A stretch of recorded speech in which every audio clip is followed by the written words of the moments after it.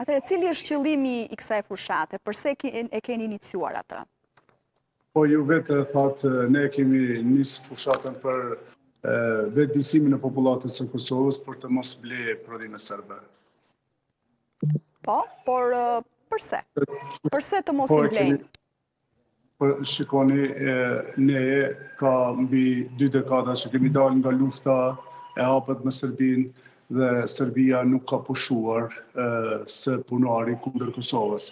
Ajo ka bërë çmos që jeta në Kosovë të mos jetë e rëndomë sikur që është në mbarë Evropën.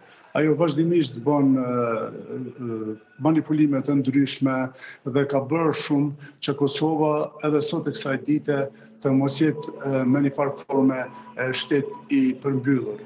Ajo po bën destruksione, po, po bën kërcënime dhe kur ka pas tendencë, sikur radhën e fundit, vitin e kaluar, me 24 shtator 2021, t'i bjerë tankat në kufi dhe ta kërcënon sigurinë e vendit tonë, Për mua ka qenë shumë e pakuptimtë që qytetarët vazhdojnë në mënyrë indiferente të blejnë prodhime serbe, ndërsa ata neve na kërcënojnë. Edhe kam menduar se edhe pse ka pas fushata të tilla shumë, ka pas njerëz, ka pas intelektualë, ka pas qytetarë të Kosovës që kanë ndikim në rreth, kanë bërë vazhdimisht deklarata që të mos blihen prodhime të Serbisë, është e çuditshme se Serbia ka investuar jashtëzakonisht shumë në Kosovë dhe ka po, po, arritur Ketë sukses në shitjen e prodhimeve të ndryshme, duke filluar nga materiali ndërtimor, ushqimet dhe gjërat e tjera.